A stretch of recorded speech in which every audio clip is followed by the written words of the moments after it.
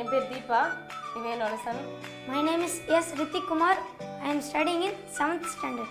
நம்ம இன்னைக்கு சிறுபருப்பு பாயசம் செய்ய போகிறோம் தேவையான அளவு நூறு கிராம் சிறுபருப்பு துருவின தேங்காய் நூறு கிராம் வெல்லம் துருவின ஏலக்காய் ஒரு கிளாஸ் பால் நம்ம முதல்ல கேஸை பற்ற வைக்கலாம்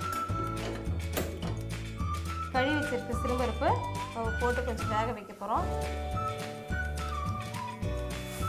தேவையான அளவு தண்ணி. ஒரு டூ மினிட்ஸ் வேகட்டும்.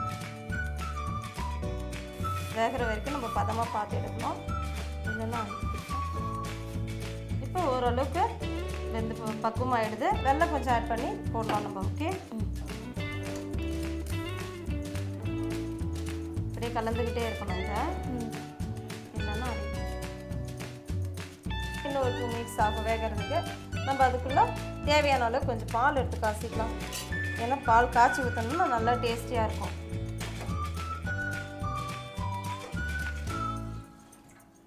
ஒரு டம்ளர் பால்மா கொஞ்சமாக தண்ணி ஊற்றிக்கலாம் அதில் கொஞ்சமாக தண்ணி ஊற்றி நல்லா காய்ச்சி கொஞ்சம் ஆட் பண்ணிக்கலாம். இப்போ நம்மளுக்கு சிறுபருப்பு நல்லா கொஞ்சம் வெந்துடுது நம்மளுக்கு தேவையான அளவு பக்கம் வந்துடுச்சு. இப்போ தேங்காய் துருவல் அதில் போட்டு ஆட் பண்ண போகிறோம் இது நல்ல பக்குவமாக இருக்குது ரெடி ஆகிடுது இப்போ நம்ம அடுத்து ஏலக்காய் போட போகிறோம்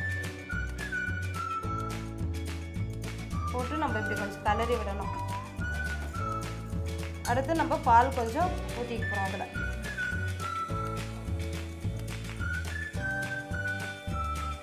நல்லா இப்போ கலரிக்கிட்டே இருக்கலாம்.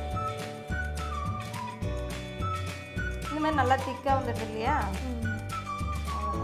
சிறுபிறுப்பு பாயசம் பாயாசம் ரெடி ஆகிடுது நல்ல வாசனை வந்துடுது இல்லையா? ஏலக்காய் போட்டோம்னாக்கா நல்ல வாசனை நல்லா இருக்கும்.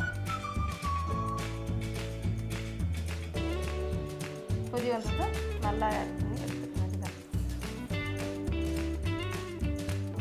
சிறுபருப்பு பாயாசம் ரெடி ஆயிடுச்சு. இப்போ நம்ம எடுத்து பவுலில் ஊற்றி நம்ம டேஸ்ட் பண்ணி பார்க்கலாம். ஓகே?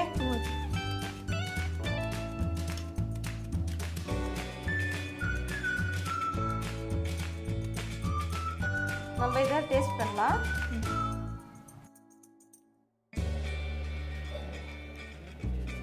எப்படி இருக்குமா? ம் சூப்பராக இருக்குது நல்லா இருக்கா நீங்கள் சொன்ன மாதிரி ஏலக்காய் ஸ்மெல்லாம் சூப்பராக இருக்குது இது வந்து ஜஸ்ட் ஒரு ஃபைவ் மினிட்ஸில் ரெடி பண்ணுறது தான் உங்கள் வீட்டிலே செஞ்சு பாருங்கள் நன்றி.